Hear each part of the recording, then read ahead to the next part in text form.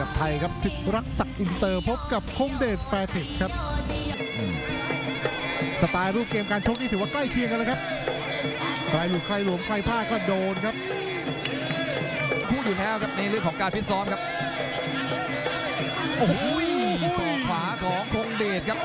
เอามาแล้วครับโอ้คุณหนุ่ยครับ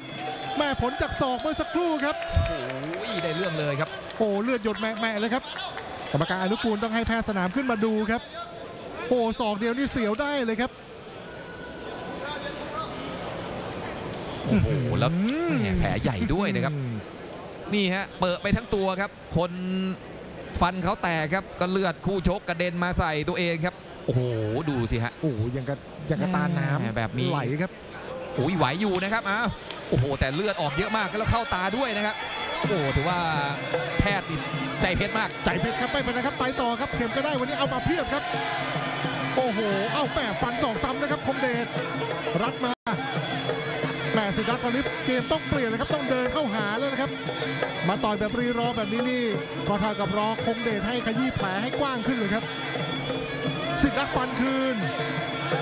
โอ้โหแข่งซ้ายจับเหลือเกินครับคงเดชจับฟันคืนครับแม่แต่ว่ามันห่างครับ โอ้โหดูฮะเลือดออกเยอะจริง ๆ ครับอะยังไงฮะอูขออีกครั้งหนึงครับนี่ฮะกรรมการบอกว่าแหมคือเลือดออกเยอะจริงๆครับเยอะครับเยอะมากคก็รับเลยเยอะต้องมากต้องพาไปให้แพทย์สนามดูอีกครั้งหนึ่งครับ อืมแล้วมันโอ้โห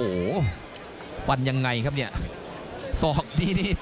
โอ้โหได้เรื่องจริง ๆ ครับอะไม่โอ้ไหวเรียบแล้วร้อยครับมันชัดกันเลยครับโอ้เวลาเหลืออีก13 วินาทีครับนั่นเป็นแชมป์มวยรอบเงินชัยโยรุ่น 132ไปครับ ได้เรื่องเลยครับ สิทธิ์ดักนี่ไปปักก่อนนะครับ คงเดชนี่สวนทันทีครับ แม่นกว่าคมกว่าหนักกว่าครับ แล้วก็เปิดแผลได้หืมเรียกว่าน่ากลัวจริง ๆ ครับศอกของคงเดชแฟร์เทคแม่แต่ว่าก็สู้